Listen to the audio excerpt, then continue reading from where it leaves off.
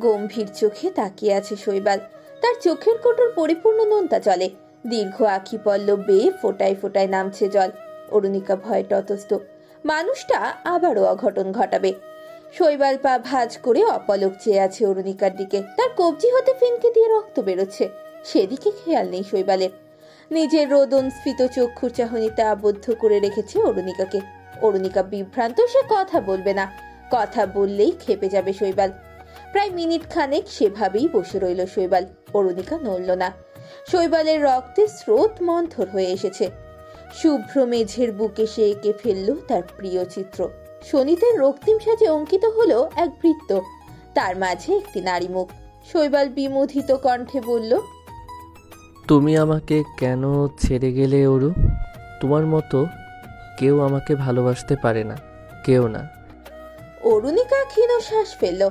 নিজের স্বামীর মুখে অন্য মেয়ের নাম শুনে অন্তঃকরণে তীক্ষ্ণ ফলার ঘা লাগে তার কিন্তু সে নিরুপায়। অরুণিকা নিজেকে সামলে নিল বসা থেকে উঠে দাঁড়াল। ধীর গতিতে শৈবালের কাছে এসে মেঝেতে বসে। অরুণিকার কাজ ঘাসে উপস্থিতিতে বিরক্ত হয় শৈবাল উচ্চ গলায় বলে ওঠে কেন এসেছ এখানে? চলে যাও চলে যাও এখান থেকে। অরুণিকা ধাতস্থ ঢোক গিল। ডান হাত রাখল শৈবালের কাঁধে। শৈবাল চটে যায়। ঝাড়া মেরে সরিয়ে দেয় অরুণিকার হাত। বিধ্বস্ত গলায় বলল ছোবে না তুমি আমাকে। ভালোবাসো না তুমি আমায়। তুমি আমার অরু নও। একদম ছোবে না তুমি আমাকে। চলে যাও এখান থেকে। চলে যাও। অরুণিকা শক্ত ঢোক গিলে বলল আমি আপনার অরুণই আমি অরুণিকা। আপনার স্ত্রী। ভালোবাসি আপনাকে আমি। চোখের পাল্লা প্রশস্ত করল শৈবাল। বিচলিত গলায় বলল তুমি আমার অরু নও তাহলে কেন এসেছ এখানে? চলে যাও এখান থেকে আর কখনো আসবে না। কোথায় যাব আমি? একদম হাত লাগাবে না আমাকে। তেতে উঠল অরুণিকা শটান হয়ে দাঁড়িয়ে পড়ল সে। দাপিয়ে উঠে বলল কোথায় যাব আমি? বলুন কোথায় যাব? আমার যাওয়ার সব জায়গা তো বন্ধ করে দিয়েছেন আপনি। যদি আমার কোনো প্রয়োজন নেই, তাহলে কেন বিয়ে করেছেন আমায়? কেন পাগলের মতো রাতের পর রাত, দিনের পর দিন আমাকে বিয়ে করার জন্য উঠে পড়ে লেগেছিলেন? কেন একবারও বুঝতে চাননি আমি আপনার অরুণ নই অরু নই আমি শৈবাল। আর অরুণ নই আমি। আমি আপনার অরুণ নই শৈবাল। কথা শেষ হতেই প্লাবনের বাদ ছুটল অরুণিকার। তার চোখ হতে ঝরে পড়া জল হাতের তালুতে নিয়ে নিল শৈবাল। অরুণিকা যখন বুঝতে পারল তার সামনেই দাঁড়িয়ে আছে দীর্ঘকায় পুরুষটি সে নিজেকে সংযত রাখতে পারল না। শৈবালের বক্ষ ভিটেতে আছড়ে পড়ল খামচি মেরে ধরলো তার গেঞ্জি। জমাট গলায় বলল আমি আপনার অরুণ ওই শৈবাল কেন বুঝতে পারছেন না আপনি? শৈবাল দম ফেলল দুর্বোধ্য হাতে জড়িয়ে নিল অরুণিকাকে। বিনীত গলায় বলল তুমি আমাকে ছেড়ে যাবে না তো? সত্যি করে বলো অরু যাবে না তো আমাকে ছেড়ে? অরুণিকা রোদন ঝরা কণ্ঠে বলল আমার কোথাও যাওয়ার জায়গা নেই শৈবাল কোথাও না। আপনার ভালোবাসার লাল বৃত্ত আমার সব পথ রোধ করে দিয়েছে। কি করে মুক্তি পাবো আমি? শৈবালের চোয়াল শক্ত হলো অচিরেই সকালে ঘুম থেকে উঠে যখন অরুণিকাকে বিছানায় পেল না তখন সে গুটি গুটি পায়ে ঘরময় বিচরণ করল। দরজার কাছে এসে পৌঁছতেই শুনতে পায় অরুণিকার কল্ল হাস্য। আর সহ্য হলো না শৈবালের। বাইরে গিয়ে দেখল পাশের বাড়ির জব্বর আলী তার আট মাসের নাতিকে কোলে নিয়ে সূর্যের মৃদু রোদে দাঁড়িয়ে আছেন। তার নাতিকে আদর করতে গিয়ে কথার ছলে হেসে খুঁটি খুঁটি হয় অরুণিকা। তাই কর্ণগোচর হলো শৈবালের। শৈবাল উদ্ভ্রান্তের মতো টেনে হিঁচড়ে নিয়ে এলো অরুণিকাকে। শৈবালের পরিবারের সবাই যে যেই অবস্থানে ছিল, সেখানেই থমকে যায়। রুমের ভেতরে নিয়ে এসে দরজা বন্ধ করে দেয় শৈবাল। কিছু সময় আড়ষ্ট নজরে চেয়ে রইল অরুণিকার দিকে। অরুণিকা অনুভূতি শূন্য সে জানে এখন শৈবাল কি করবে। ঝনঝন করে শব্দ হতে লাগল। কাচের টুকরোগুলো বিক্ষিপ্ত হতে লাগল একের পর এক। অরুণিকা নিরুত্তাপ। নিজের রাগের সাবরে হাবুডুবু খাওয়া শৈবাল যখন একটু শান্ত হলো, তখন সেই ভাঙা কাচের টুকরো দিয়ে নিজের হাত কেটে ফেলল। দ্রুততার সাথে কাটাই শুধু ওপরে চামড়াটুকুই কেটে যায়। রক্তের বান ছোটে তাতেই। শৈবাল বসে পড়ে মেঝেতে। দেয়াল ঘেসে নিজে বসে অরুণিকা। শৈবালের পাগলামিতে সে অভ্যস্ত হতে শুরু করেছে। বিয়ের রাত থেকেই সেই সত্যের সম্মুখীন হয়েছে। শৈবাল বুকে জড়িয়ে রাখল অরুণিকাকে। মেঝেতে এঁকে রাখা রক্তের বৃত্তটির দিকে তাকিয়ে মনে মনে আওড়ালো, আমার ভালোবাসার লাল বৃত্তই তোমার শ্বাসের পরিধি। তুমি এই বৃত্ততেই আবদ্ধ। আমার দেহে এক বিন্দু রক্ত থাকতে এই বৃত্তের একটা অংশ আমি মুছে যেতে দেব না।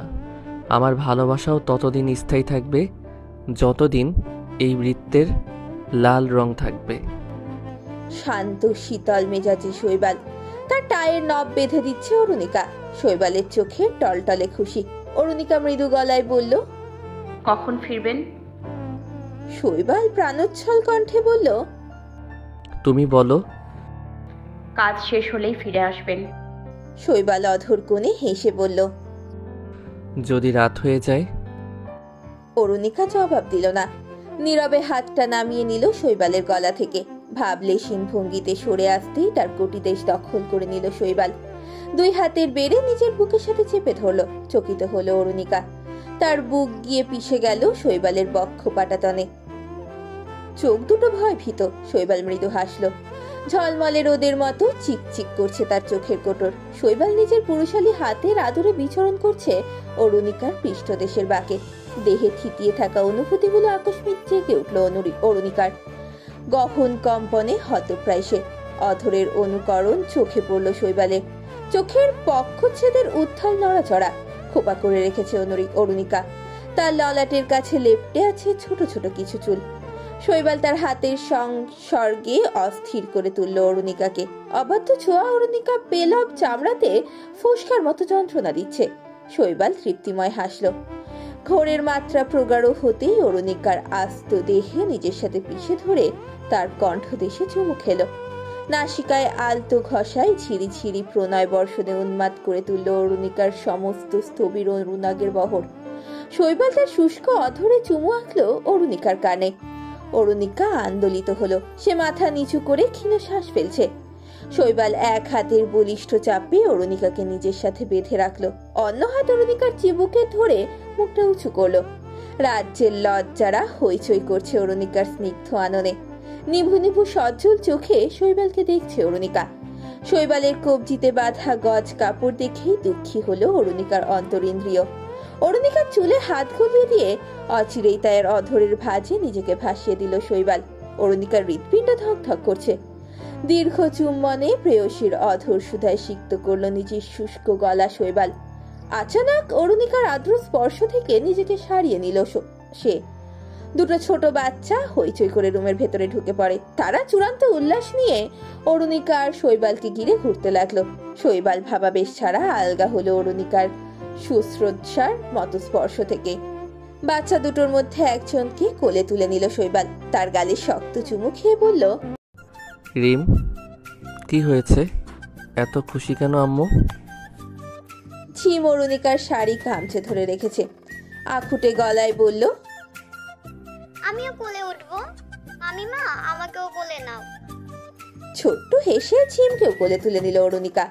ঝিমের দুই গালে চেপে আদর দিল সে। খুশ গলায় বলল এত খুশি কেন রিমঝিম?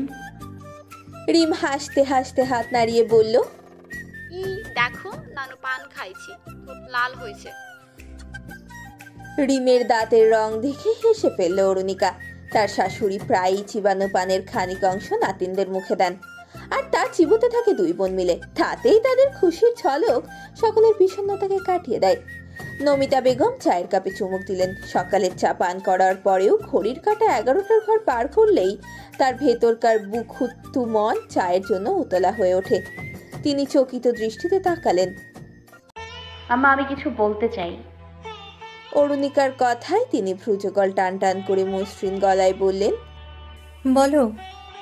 আব্বুর শরীর ভালো নেই। আমি একটু ও বাড়িতে যাব। আমি একটু ও বাড়িতে যাব। নমিতা বেগম সন্ধানী গলায় বললেন শৈবাল জানে? উনি অফিস থেকে ফিরে আসার আগেই আমি চলে আসব। নমিতা বেগম দ্বিধান্বিত কণ্ঠে বললেন কিন্তু আমার আব্বু অসুস্থ আম্মা। আমি ছাড়া তাদের আর কেউ নেই। অরুণিকার কথা শেষ হতেই একটা ঝোড়ো গলার শব্দ ঝাঁকিয়ে তুলল সব। গত সপ্তাহেই তো বাবার বাড়ি থেকে এসেছ। এখন আবার কিসের জন্য যাবে? শৈবালের বল রুমকির কথায় বদ্ধ শ্বাস ফেলল অরুণিকা। রান্নাঘর থেকে অধৈর্য পায়ে হেঁটে আসা রুমকি অরুণিকার সন্নিকটে এসে থামে। অরুণিকা মোলায়েম স্বরে তীক্ষ্ণ কথা বলল এসেছি। শৈবাল আমাকে রেখে আসতে চায়নি দুই ঘণ্টার জন্য নিয়ে গেছিল সাথে করে নিয়েও এসেছে। আম্মু গত রাতে ফোন করে বলল আব্বুর শরীর খারাপ। আব্বুর শরীর আবার খারাপ করেছে ওই বাড়িতে তাদের দেখার মতো কেউ নেই। রুমকি তেচরা গলায় বলল তো তুমি কি ছেলে মানুষ? বিয়ে হয়েছে তোমার। এই ঘর সংসার স্বামী এসব তোমার সব এখন। ও বাড়ির চিন্তা এখন মাথা থেকে ঝেড়ে ফেলো। অরুণিকা কুণ্ঠিত নজরে তাকালো। অবিশ্বাস্য গলায় বলল কি বলতে চাইছেন আপনি? বিয়ে হয়েছে বলে আমার কোনো দায়িত্ব নেই তাদের প্রতি? রুমকি কাষ্ঠ গলায় বলল দেখো অরুণিকা এসব দায়িত্ব ফায়িত্ব বাদ দাও। শৈবাল অফিস থেকে এসে তোমাকে ঘরে না পেলে সব ভাঙচুর করে একাকার করে ফেলবে? তোমার বাবা তো সেই বিয়ের আগে থেকেই অসুস্থ। দিব্যে বেঁচে আছেন এখনও। কিছুই তো হয়নি। অরুণিকা দাপিয়ে উঠে বলল আপা এসব কি বলছেন? ঠিকই বলছি। কোনো দরকার নেই ওই বাড়িতে যাওয়ার। শরীর খারাপ করেছে আবার ঠিকও হয়ে যাবে। আমার যাওয়াতে আপনার এত সমস্যা কেন? আপনার কি? সারা বছর তো বাবার বাড়িতে পড়ে থাকেন। ক্রোধে বিহব্বল হয়ে অরুণিকাকে আস্ত ঠাসা চর বসাতে উদ্যত হয় রুমকি। রুমকির হাত শক্ত করে ধরে ফেলল অরুণিকা। দৃঢ় অবিচলিত গলায় বলল গায়ে হাত তুলবেন না আপা। রুমকির হাত ছেড়ে দিল অরুণিকা। ফোঁস করে বলে উঠল রুমকি। তোর সাহস কি করে হয় সব বলার? অরুণিকা নির্ভয় গলায় বলল, ভুল বলিনি তো। বিয়ের এত বছর হলো, তবুও তো আপনি বছরের বেশিরভাগ সময় বাবার বাড়িতে কাটিয়ে দেন। আপনার মা বাবার একটা ছেলে আছে, জাফর ভাইয়ের মতো জামাই আছে। আমার আব্বু আম্মুর কে আছে? আর কোন অধিকারে আপনি আমার গায়ে হাত তুলতে চান? আমার পুরো জীবনটা তো এমনিতেই জাহান্নাম বানিয়ে রেখেছেন। নিজের অবসেস ভাইকে চিকিৎসা না করিয়ে আমার গলায় ঝুলিয়ে দিয়েছেন। কিনে নিয়েছেন আমাকে? অবশ্য এটাই আমার ভাগ্য। সেদিন যদি আপনার বাবা শৈবালের জেদের কারণে আমার আব্বুকে না বাঁচাতে আমার আব্বুকে না বাঁচাতো তার চিকিৎসার টাকা না দিত তাহলে হয়তো আমি আজ আর আমার আব্বুর মুখ দেখতে পারতাম না। শেষের বাক্যতে এক রাস শ্লেষ মিশ্রিত ছিল অরুণিকার। নিজের ওপর করুণা হয় তার। রুমকি ঝাঝালো স্বরে বলল এতই যখন বুঝিস তাহলে এসব শুরু করেছিস কেন? আমার ভাই যেমনই হোক তোকে পাগলের মতন ভালোবাসে তো। দম বন্ধ হয়ে আসে আমার। অরুণিকার ছোট্ট লাইনে ছিল আকুতি যা বিনা দ্বিধায় বুঝে নিলেন নমিতা বেগম। রুমকি ঝটিকার মতো মায়ের কাছে এসে তার কাঁধে হাত রেখে বলল দেখলে মা দেখলে ও কি বলল? আমার ভাই নাকি ওর জীবনে জাহান্নাম বানিয়ে রেখেছে। আমাদের খেয়ে পয়ে পড়ে আবার আমাদেরই খোটা দিচ্ছে। অরুণিকা কণ্ঠ খাদে নামিয়ে অন্যদিকে দৃষ্টি রেখে বলল, আমি আপনাকে কোনো খোটা দেইনি, আপা। ভুলে যাইনি আপনারা আমার আব্বুর জন্য কি কি করেছেন। একটা চাকরির জন্য যখন এখানে ওখানে ঘুরছিলাম, পুরুষের লোভনীয় দৃষ্টির শিকার হচ্ছিলাম, তখন সেখান থেকে আমাকে উদ্ধার করেছে শৈবাল। তার ঋণ আমি কোনোদিনও শোধ করতে পারব না। আমি তো যেচে আপনাদের বাড়িতে আসিনি, সাহায্য করার নামে শৈবালকে বিয়ে করতে বাধ্য করেছেন আপনারা। হ্যাঁ সব দিয়েছেন আপনারা আমাকে। তাই এই যে ভালো খেতে পারছি, ভালো শাড়ি পরছি, এত এত গহনা গায়ে ঝুলিয়ে রেখেছি, কোনো কমতি রাখেননি। শুধু আমার বাঁচার স্পৃহাটুকু কেড়ে নিয়েছেন। নিজেকে স্বর্ণ পিঞ্জিরায় আবদ্ধ এক পাখি মনে হয় আমার। বিয়ের পর থেকে শৈবাল কি করেনি বলতে পারেন? আপনারা চাইলেই তাকে একটা সুন্দর জীবন দিতে পারতেন। তা না করে শৈবালের জেদের কাছে হাড় মেরে আমার জীবনটা বিষাক্ত করে দিয়েছেন। নমিতা বেগম নির্বাক চেয়ে রইলেন। রুমকির চোখে বান ছুটল। সে ভেজা গলায় বলল দেখলে মা শৈবালকে কী সব বলছে? ও কেমন মেয়ে মা? ও আমার ভাইকে একটুও ভালোবাসে না? আমার ভাইটা চোখের পলক ফেলে না এই মেয়ের জন্য। আর ও কি না? শৈবাল ভালো করেই জানে আমি তার অরুণই আপনারাও জানেন। রুমকির রাগ মাথায় চড়ে বসল। সে উত্তেজিত হয়ে বলল তাহলে আছিস কেন এখানে? চলে যা। অরুণিকা সরল চোখে তাকালো তার ছেলের সাথে বলল সে উপায় রেখেছে আপনার ভাই। এই এই এই তুই বারবার ভাই ভাই বলছিস কেন? আমার ভাই তোর কিছু হয় না? এতটা দিন সংসার করেও একটু মায়া হয় না ওর জন্য তোর? অরুণিকা নরম হেসে বলল মায়া দিয়ে কি জীবন চলে আপা? তুই? থাম রুমকি। শৈবালের বাবা তৌফিক সাহেব ছোড়ো গলায় বললেন চুপ হয়ে গেল রুমকি। অরুণিকা স্বাভাবিক দৃষ্টিতে চাইল। নমিতা বেগম এখনও নিরুত্তাপ। তৌফিক সাহেব অমায়িক গলায় বললেন তুমি যাও বৌমা শুধু শৈবাল বাড়ি ফেরার আগে ফিরে এসো। অরুণিকা কৃতজ্ঞতার সুরে বলল জি বাবা। আমি দুলাভাইকে বলেছি শৈবাল অফিস থেকে বের হতেই যেন আমাকে ফোন করে জানিয়ে দেয়। আমি তার আগে ফিরে আসব। হুম? নিজেকে গুজগাছ করতে নিজের রুমের দিকে পা বাড়ায় অরুণিকা। রুমকি অভিযোগের থালা নিয়ে বসল? এই মেয়েটা আমার ভাইকে আজও ভালোবাসতে পারেনি। একটুও মা- মায়া হয় না ওর। কত ভালোবাসে শৈবালোকে স্বামীর প্রথম স্ত্রীর নাম তার মুখে শুনলে কেমন লাগে? বলতে পারিস রুমকি নিজের চোখের সামনে স্বামীকে রক্তাক্ত হতে দেখলে কারও ভালো লাগে? বলতে পারিস, মুক্ত বাতাসে শ্বাস নেওয়ার বদলে সোনার খাঁচায় বন্দি জীবনে কে হাসতে পারে? বলতে পারিস, আমরা তো শৈবালের রক্তের আত্মীয় হয়েও ওর পাগলামি নিতে পারি না। তাই তো এই মেয়েটার উপর সব ভাত ছেড়ে দিয়ে নিশ্চিন্তে ঘুমাতে পারি। ওর কেমন লাগে? সেই বিভীষকময় মুহূর্তগুলো একবারও ভেবে দেখেছিস? একবার ওর জায়গায় নিজেকে বসিয়ে দেখলাম কি জীবন এত সহজ নয় রে মা। আমরা শুধু আমাদের কথাই ভাবলাম মেয়েটার কথা একবারও ভাবলাম না। ঠোঁট ফুলিয়ে কেঁদে ফেলল রুমকি। বাবার বুকের কাছে সমাহিত হয়ে বলল সব দোষ আমার। শৈবাল যখন অরুমিতার মৃত্যুর পর অগোছালো অস্থির হয়ে উঠল তখন ওই অরুণিকাকে দেখে আমার ভাই হেসেছে। কথা বলেছে অরুণিকাকে অরু ভেবে আমার ভাইটা আবার বাঁচতে চেয়েছে। কি করে ওকে ফিরিয়ে দিতাম আমি? তাই তো ওর মেয়েটাকে জোর করে বাড়ির বউ করে এনেছি আমার শৈবালের জন্য। আমার ভাইটা ওকে পাগলের মতন ভালোবাসে। ওকে এক মিনিট না দেখলে নিজেকে আঘাত করে, দ্বিতীয়বার ভাবেও না, বাবা। অরুণিকা ওকে ছেড়ে চলে গেল। ও মরে যাবে, ও মরে যাবে। যেমন করে জীবন্ত লাশ হয়ে গেছিল অরুণিতার অরুমিতার মৃত্যুতে। এইদিকে মাংসের সুন্দর ঘ্রাণ ভেসে চলছে উষ্ণ বাতাসে।